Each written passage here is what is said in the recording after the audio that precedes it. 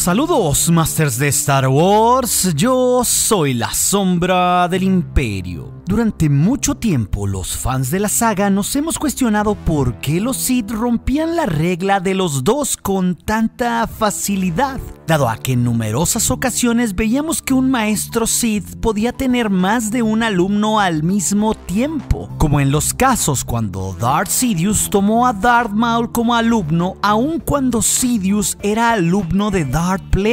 O también en los casos que Dooku tomó a Zack Ventress y a Savage Opress en diferentes periodos como sus alumnos cuando este a su vez era el aprendiz de Sidious. E incluso también cuando Darth Vader secretamente entrenó casi durante toda su vida a Star Killer para que en un dado momento le ayudara a eliminar a Palpatine. Pero para conocer el origen de por qué los Sith rompían sus propias reglas, debemos de conocer mucho más a fondo el origen de la regla de los dos Sith. Esta regla fue instaurada originalmente por Darth Bane tras la definitiva derrota de los Sith a manos de los Jedi en la séptima batalla de Rusan. La regla en sí existió para mantener el orden entre miles de Sith que se enfrentaban en pugnas constantes por el poder de un imperio, pero ese imperio ya no existía más. Así que esta regla fue un método para que los Sith más poderosos se mantuvieran ocultos de los ojos de los Jedi y al mismo tiempo como una promesa para que los Sith en el futuro reclamasen para sí la galaxia una vez más. En resumidas cuentas, era el mejor camino para su propia subsistencia y permanecer así con vida ante su derrota a manos de la Orden Jedi. Así pues, Darth Bane logró mediante esta regla tener cierta paz entre los Sith, dado a que solo existirían dos, el maestro y el aprendiz. La regla fue una forma en que únicamente los dos Sith más poderosos se mantuvieran con vida, una especie de supervivencia del más fuerte, mientras que los Sith más débiles serían eliminados por ellos, creando así lo que Darth Bane veía como un círculo virtuoso para adquirir más poder.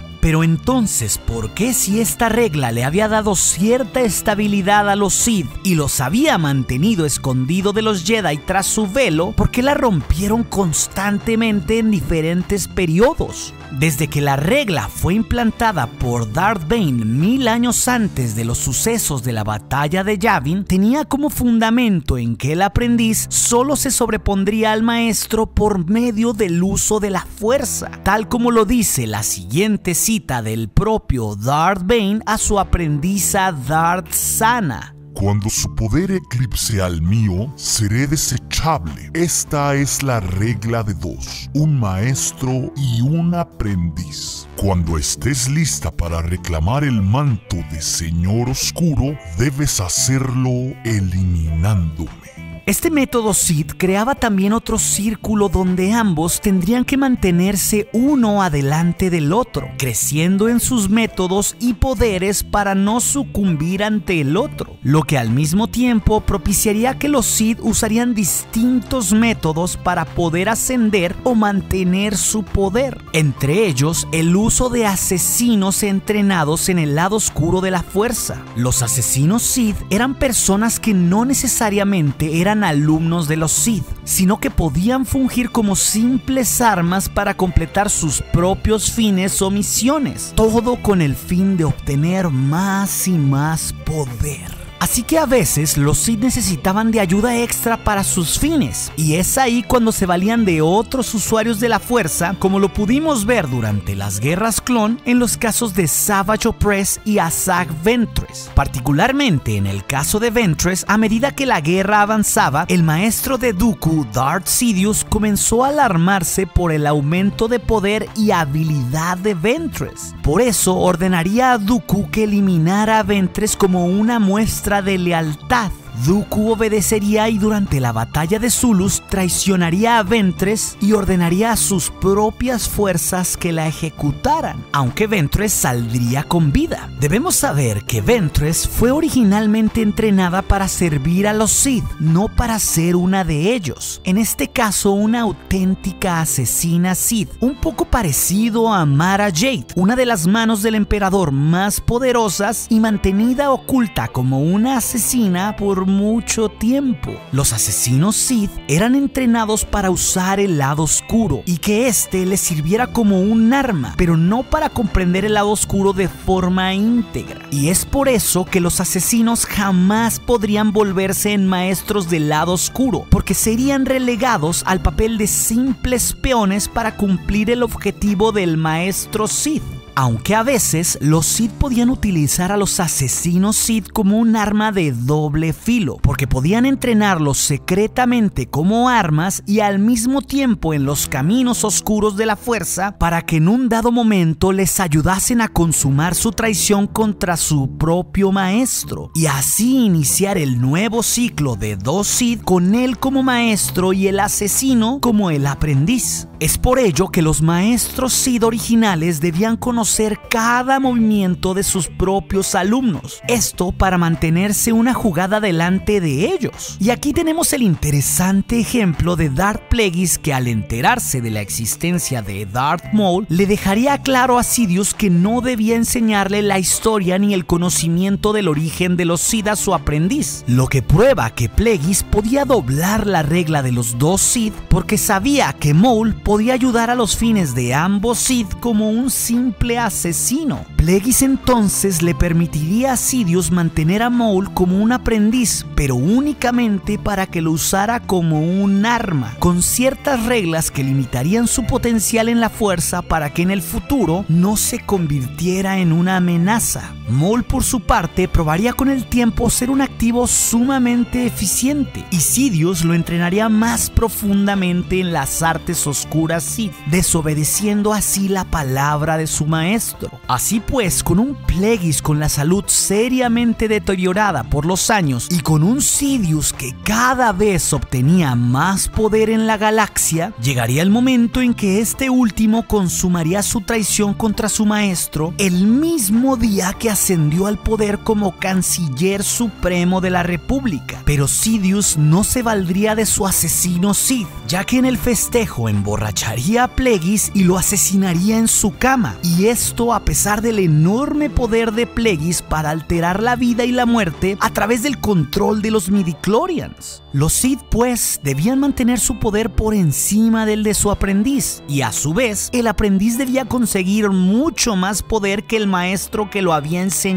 En la mayoría de los casos la juventud del aprendiz se hacía pesar sobre el poder del maestro, particularmente cuando este último veía eclipsado su poder como en el caso de Plagueis. Por su parte, Darth Vader, el aprendiz de Sidious, se daría cuenta también que estaba limitado en su poder, particularmente por las enormes limitaciones de su traje mecánico por ser un conductor eléctrico ante las descargas eléctricas de los rayos de la fuerza de Palpatine por lo que tendría dentro de sí una gran limitante para derrotar a Sidious. Es por eso que se valdría de su asesino personal y aprendiz secreto Star Killer como un medio para lograr su fin último de destruir al emperador, aunque desgraciadamente para Vader su plan sería destronado por el mismísimo emperador. De hecho, algunas veces los Sith sí tenían otros aprendices secretos, como en el caso de Darth Tenebrous, el maestro de Plagueis que tuvo otro aprendiz secreto del cual Plagueis efectivamente se enteraría y tras consumar su asesinato contra su maestro, vencería a su otro aprendiz, pero no lo mataría, ya que lo utilizaría por años como un conejillo de indias para sus experimentos del uso de la fuerza para transformar crear o quitar la vida. Entonces, como podemos ver, los Sith de cierta manera doblaban la regla de dos por ciertos momentos para cumplir sus propios objetivos de obtener más poder. Es por eso que tanto Maul, Ventress y Mara Jade serían entrenados por sus respectivos maestros como asesinos más que propios aprendices. Pero también muchos otros usuarios de la fuerza entrenados por los Sith eran relegados a tener un fin menor. Tal es el caso de los diferentes inquisidores o de las manos del emperador, que son otro ejemplo de usuarios de la fuerza entrenados en el lado oscuro para servir y cumplir un cierto objetivo para sus maestros, pero nunca jamás para conocer el poder completo del lado oscuro, reservado únicamente para el maestro y el aprendiz verdadero.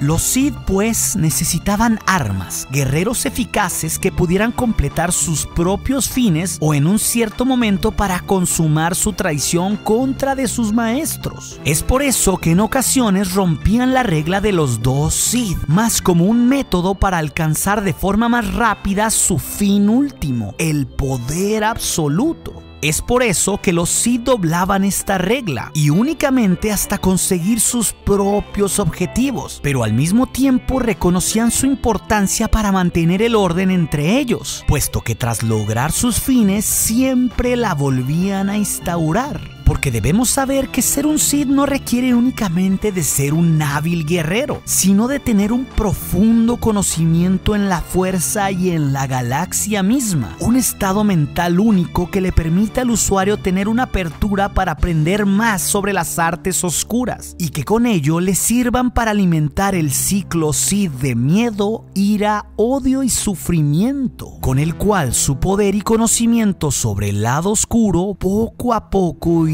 creciendo, pero también el arte Sith requería del más alto refinamiento en una persona para vivir oculto en las sombras. Es por eso que los Sith tenían dobles identidades para pasar desapercibido de los ojos de los Jedi, ya sea como influyentes millonarios o como senadores de la República. Todo como una estrategia para mantenerse ocultos y obtener más poder. Ese sería el verdadero manto que protegería por siempre el poder de los Sith. ¿Y tú, Master, qué piensas? ¿Qué piensas sobre cómo los Sith doblaban la regla de los dos a tal nivel para lograr sus propios fines? ¿Y por qué crees que siempre, a pesar de romper o doblar esta regla, terminaban por instaurarla de nuevo? Me encantaría saber lo que piensan en los comentarios, porque créanme, siempre trato de leerlos a todos. Y en su gustada sección llega el comentario del día. Aquí el premio se lo lleva Darth Ya que en el video anterior sobre todas las heridas de Darth Vader y sus pensamientos sobre cada una de ellas, nos dijo que la herida más grande de Vader fue perder a su padre y a su amada Padme. Y debo decir que esto es totalmente verdadero, Master, ya que estos dos trágicos sucesos fueron los detonantes para que una persona tan buena como Anakin Skywalker fuera trastornado mentalmente y seducido al lado oscuro para cometer los actos más viles. Sin duda, la historia de Anakin es la versión moderna de una terrible tragedia griega. Masters de Star Wars, si les gustó este video, no duden en compartirlo y suscribirse al canal, ya que al dejarle un pulgar arriba al video siempre ayudará al canal a llegar a galaxias muy muy lejanas. Y recuerden, nuestro aliado es la fuerza y un poderoso aliado es. Hasta aquí su amigo, la sombra del imperio.